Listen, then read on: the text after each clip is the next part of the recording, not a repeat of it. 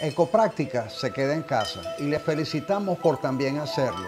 Le invitamos a tener actividades como mejorar la comunicación familiar, leer ese libro que no empezó o terminó, escuchar la música para la que no tenía tiempo, hacer algunos juegos de mesa y si tiene internet, busque y aprenda algunas técnicas de relajación y meditación.